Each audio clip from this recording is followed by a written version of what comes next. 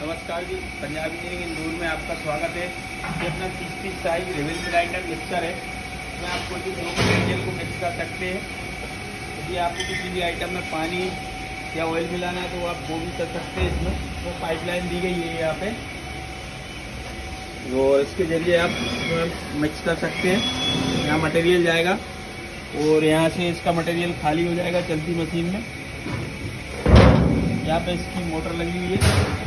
Safety के लिए safety cover भी लगा हुआ है।